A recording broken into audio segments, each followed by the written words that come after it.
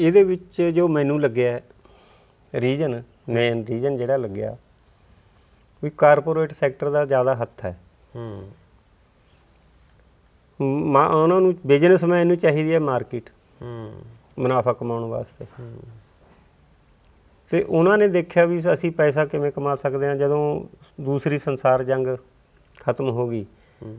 ਤੇ ਜਿਹੜੀਆਂ ਅਸਲਾ ਫੈਕਟਰੀ ਸੀਗੀਆਂ ਸਾਰੀਆਂ ਬੰਦ ਹੋ ਗਈਆਂ। ਹੂੰ। ਹੁਣ ਇੰਨਾ ਵੱਡਾ, ਇੰਨਾ ਸਰਮਾਇਆ ਲੱਗਿਆ ਹੋਇਆ, ਉਹ ਬੰਦ ਕਰਕੇ ਤਾਂ ਰਾਜੀ ਨਹੀਂ। ਕਿਸੇ ਦਾ ਅਚਾਨਕ ਵਪਾਰ ਠੱਪ ਹੋ ਜੇ, ਉਹ ਹੱਥ ਪੈਰ ਮਾਰਦਾ ਨਾ ਵੀ ਹੁਣ ਅਸੀਂ ਕੀ ਕਰੀਏ, ਕਿੱਥੋਂ ਪੈਸਾ ਕਮਾਈਏ।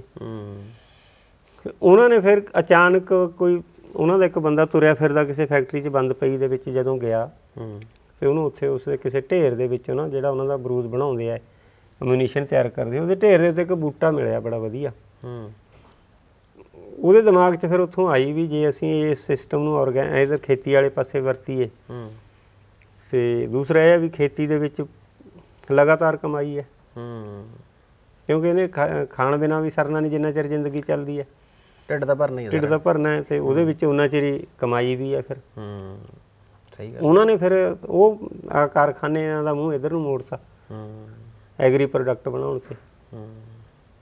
ਸਰਕਾਰਾਂ ਵੀ ਵਧੀਆ ਢੰਗ ਨਾਲ ਚੁਣੀਏ ਤੇ ਜਿਹੜੀਆਂ ਸਾਡੀ ਮਦਦ ਕਰਨ ਐਕਸਪੋਰਟ ਕਰਨ ਦੇ ਵਿੱਚ। ਬਾਗਾ ਬਾਰਡਰ ਖੁੱਲ ਜੇ। ਹੂੰ। ਰੌਲਾ ਬਾਗਾ ਬਾਰਡਰ ਦਾ ਹੀ ਜਿਹੜਾ ਜੰਮੂ ਕਟੜਾ ਐਕਸਪ੍ਰੈਸ ਵੇ ਬਣ ਰਿਹਾ ਹੈ। ਇਹ ਖੁੱਲਣਾ ਇਧਰ ਨੂੰ ਏਰੀਆ ਇਹ। ਪਰ ਖੁੱਲੂ ਉਦੋਂ ਜਦੋਂ ਉਹਨਾਂ ਕੋਲੇ ਬਾਗੀ ਜ਼ਮੀਨ। ਹੂੰ। ਅਸੀਂ ਉਹ ਮੰਗ ਨਹੀਂ ਕਰ ਰਹੇ ਹਲੇ ਤੱਕ। ਹੂੰ। ਇਹ ਤਾਂ ਐਮਐਸਪੀ ਤੱਕ ਹੀ ਸੀਮਤ ਆ।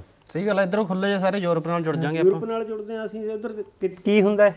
ਪਾਕਿਸਤਾਨ ਤੋਂ ਅੱਗੇ ਜਾ ਕੇ ਕੁਝ ਵੀ ਨਹੀਂ ਹੁੰਦਾ। ਹੂੰ। ਗਰਮ ਏਰੀਆ ਖੁਸ਼ਕ ਏਰੀਆ ਤੇ ਸਾਰਾ ਸਾਡਾ ਸਮਾਨ ਮਹਿੰਗੇ ਭਾਅ ਵਿਕਣਾ। ਤੇ ਕੋਈ ਕਿਸਾਨ ਯੂਨੀਅਨ ਵੀ ਮੰਗ ਨਹੀਂ ਕਰ ਰਹੀ।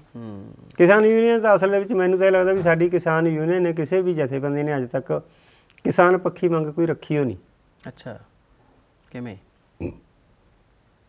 ਮੈਂ ਤੁਹਾਨੂੰ ਦੱਸ ਕੇ ਤਾਂ ਹਟਿਆ ਵੀ ਅਸੀਂ ਐਮਐਸਪੀ ਤੇ ਅੱਜ ਵੀ ਰੌਲਾ ਪਾ ਰਹੇ ਹਾਂ। ਹੂੰ? ਵੀ ਸਾਨੂੰ ਰੇਟ ਦੇ ਦਿਓ। ਅਸੀਂ ਕਣਕ ਦਾ ਤੇ ਝੋਨੇ ਦਾ ਦੋ ਚੀਜ਼ਾਂ ਦਾ ਰੇਟ ਮੰਗਦੇ ਹਾਂ ਬਾਕੀ ਦਾ ਸਾਰਾ ਕੁਝ ਉਹਨਾਂ ਕੋਲੇ ਹੈ ਨਾ। ਬਿਲਕੁਲ ਸਹੀ ਗੱਲ ਹੈ। 93 ਰੁਪਏ ਤੇਲ ਹੋ ਗਿਆ। ਅਗਲਾ 103 ਕਰ ਦੂ ਸਾਡਾ ਤਾਂ ਸਾਰੇ ਕੁਝ ਨਿਕਲ ਗਿਆ ਜੇ ਰੇਟ ਦੇ ਵੀ ਦੇਣਗੇ ਸਾਨੂੰ। ਐਮਐਸਪੀ ਤਾਂ ਇੱਕ ਤਰੀਕੇ ਨਾਲ ਆਪਣੇ ਤੇ ਦੁਬਾਰੇ ਫੇਰ ਖੋਲੀ ਉਹਨਾਂ ਨੇ। ਸਾਨੂੰ ਐਮਐਸਪੀ ਦੀ ਲੋੜ ਹੀ ਨਹੀਂ ਮੇਰੀ ਐਮਐਸਪੀ ਮੇਰੀ ਜੇਬ 'ਚ ਹੈ। ਅੱਛਾ ਹਾਂ ਬਿਲਕੁਲ ਸਹੀ ਗੱਲ ਹੈ। ਤੁਸੀਂ ਆਪ ਦੇ ਤਰੀਕੇ ਨਾਲ ਆਪ ਦਾ ਅਸੀਂ ਭਾਅ ਤੈਅ ਕਰਦੇ ਹੋ। ਤਰੀਕੇ ਨਾਲ ਆਪਣਾ ਭਾਅ ਤੈਅ ਕਰਦੇ ਹਾਂ। ਅਸੀਂ ਇਹ ਵੀ ਨਹੀਂ ਹੈਗਾ ਵੀ ਅਸੀਂ ਕਿਸੇ ਦੇ ਕੱਪੜੇ ਵੀ ਉਤਾਰ ਲਈਏ ਨਹੀਂ ਅਸੀਂ ਉਹ ਵੀ ਦੇਖਣਾ ਵੀ ਇਹਨੂੰ ਵੀ ਵਾਜਬ ਲੱਗੇ।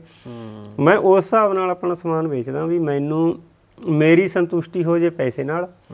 ਮੇਰੇ ਕਸਟਮਰ ਦੀ ਸੰਤੁਸ਼ਟੀ ਹੋ ਜੇ ਮੇਰੀ ਚੀਜ਼ ਨਾਲ। ਸਮਾਨ ਨਾਲ ਹਾਂ।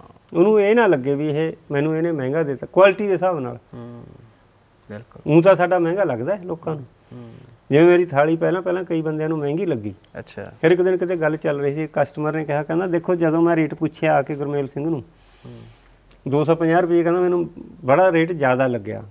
ਕਹਿੰਦਾ ਮੈਂ ਕਿਹਾ ਵੀ ਹੁਣ ਆਏ ਆ ਖਾ ਕੇ ਚੱਲਾਂਗੇ। ਕਹਿੰਦਾ ਜਦੋਂ ਮੈਂ ਰੋਟੀ ਖਾਧੀ ਹੂੰ। ਫਿਰ ਮੈਨੂੰ ਉਹ ਵਾਜਬ ਲੱਗਿਆ। ਹੂੰ ਕਿ ਉਹਦੇ ਵਿੱਚ ਆਈਟਮਾਂ ਵੀ ਉਨੀਆਂ ਸੀਗੀਆਂ। ਤੇ ਬਾਕੀ ਟੇਸਟ ਪੱਖੋਂ ਤਾਂ ਕਹਿੰਦਾ ਹੁਣ ਅਸੀਂ ਕਹਿ ਹੀ ਨਹੀਂ ਸਕਦੇ ਵੀ ਕਿੰਨਾ ਕੁ ਵਧੀਆ ਲੱਗਿਆ ਉਹ। ਹੂੰ।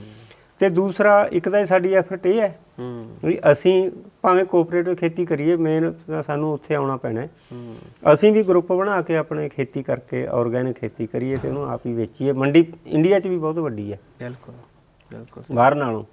ਪਹਿਲਾਂ ਇੱਥੇ ਵੇਚੋ ਉਸ ਤੋਂ ਬਾਅਦ ਬਾਹਰ ਜਾਈਏ।